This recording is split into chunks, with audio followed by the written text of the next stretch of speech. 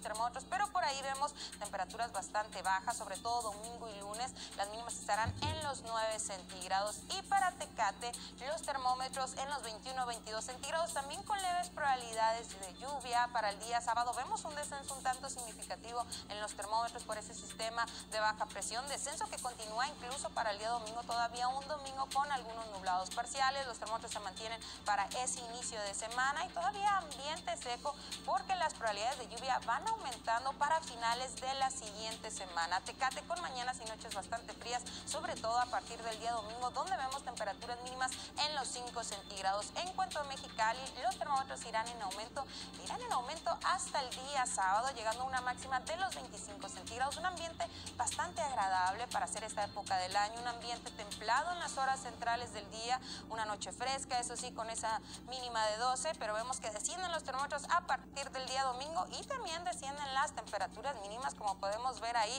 de los 12 centígrados el día sábado, ya un domingo con una noche bastante fría, ya que la mínima serán los 6 centígrados. Así que, bueno, disfrute de este ambiente seco que tenemos esta semana y de ese aumento en los termómetros para el día de mañana jueves y el día porque hay descenso en las temperaturas y para la próxima semana ya tenemos nuevamente probabilidades de lluvia. Hasta aquí con el pronóstico del tiempo, que tengan todos un excelente día. Continuamos con más.